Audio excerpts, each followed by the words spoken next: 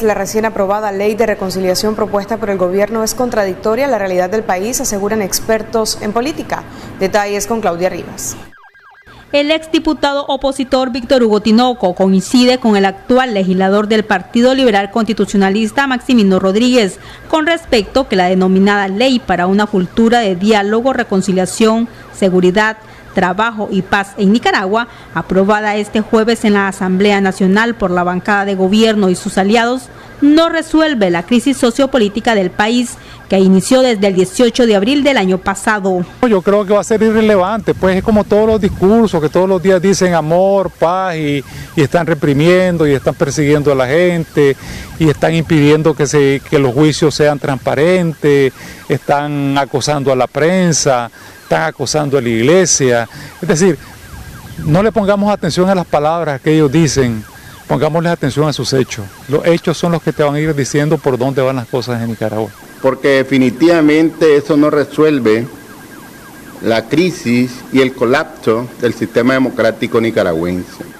La paz se construye respetando los derechos individuales de las personas, no es imponiendo a sangre y fuego un sistema, pero realmente están yendo por un camino equivocado. Y no quiero que los nicaragüenses volvamos a entrar en una situación que ya lo dijo Rafael Solís, y se lo he dicho yo que Rafael Solís no es ningún benedicio del Frente Sandinista.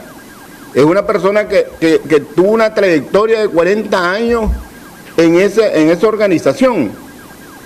Y Rafael Solís dice de que posiblemente en Nicaragua lo que va a haber es una guerra. El legislador del PLC expuso las contradicciones que establece la nueva ley. Entonces pretenden a través de esa ley lavarles, como dicen popularmente, el cerebro a las niñas y a los niños para que crean en su famoso proyecto del socialismo del siglo XXI. ¿Será una materia más?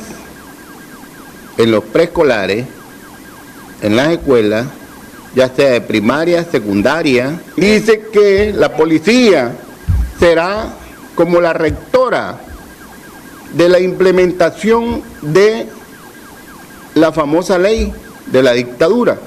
¿Y qué ciudadano que tenga cinco dedos de frente va a creer en una policía totalmente partidista? podemos hablar que se opone a la constitución política porque es una, es una, una ley que discrimina a aquellos que no piensen como la dictadura. O la ley ahora, enviada por la dictadura, no es nada más que simple demagogia de la dictadura. El PLC propuso una iniciativa de ley que creaba las herramientas pertinentes para que los nicaragüenses pudiésemos llegar a una concertación nacional. Rodríguez destacó que su bancada votó en contra de esta ley sandinista. Claudia Rivas, Acción 10.